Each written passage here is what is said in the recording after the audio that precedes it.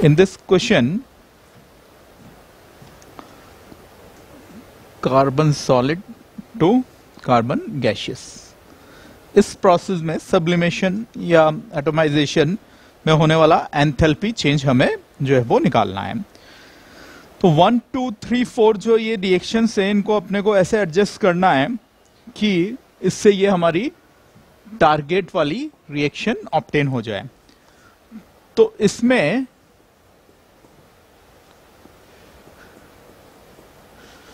Carbon solid तो हमें ऐसे ही चाहिए।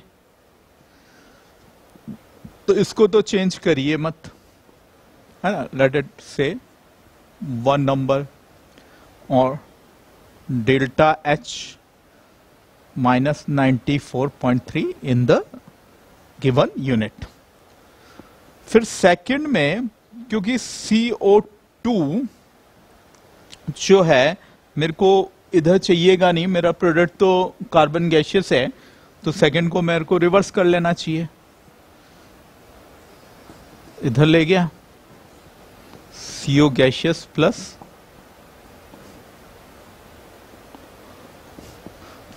तो सेकंड को मैंने माइनस कर लिया, है ना? पोजीशन माइनस करने मतलब रिएक्टेंट प्रोडक्ट की पोजीशन चेंज कर दी। तो ये मेरा डेल्टा एच आ गया। चेंज होने से 67.4 यहाँ भी साइन चेंज कर दिया।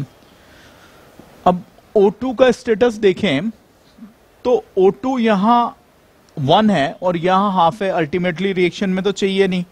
तो हम क्या करें? इसको उधर ले जाएँ और बाय टू भी करें। है तो अपन ने क्या किया है? थर्ड नंबर को ऐसे कर लिया।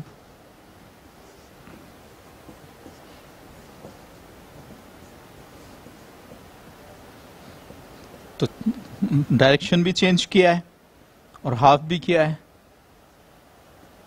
तो ये मेरा कितना हो गया? Minus one one seven point four by two है ना? ये तो पुरानी वाली रिएक्शन के वन टू थ्री है और ये नई रिएक्शंस के हमारे एंथैल्पी चेंज हो गए। अब इसमें कोई प्रॉब्लम नहीं है। फोर्थ को एसिटीज ही रखा है। कार्बन गैशियस अपन प्रोडक्ट्स में ही चाहते हैं।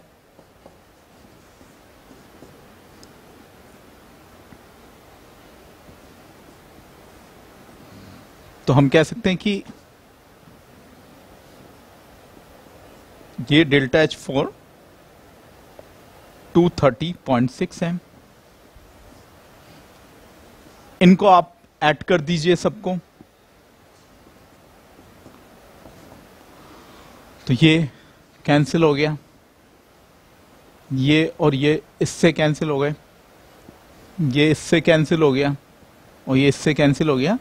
अल्टीमेटली आपको स्टार रिएक्शन मिल गई। तो इसका एंथैल्पी चेंज जो हो जाएगा डेल्टा एच स्टार वो कैसे आ जाएगा यहाँ पे? ऑब्वियसली इन सबको सम करके जो है वो आंसर आ जाएगा. This the answer